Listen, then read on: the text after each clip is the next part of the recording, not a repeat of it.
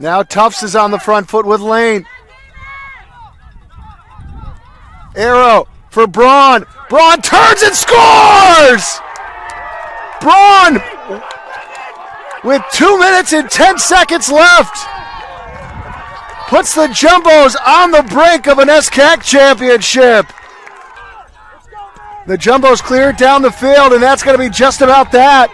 Maybe time for Grady to just a hope and a prayer down the field. This is it. Three seconds left. Two, one, and the Tufts Jumbos win it late. They are the 2019 men's NESCAC soccer champions.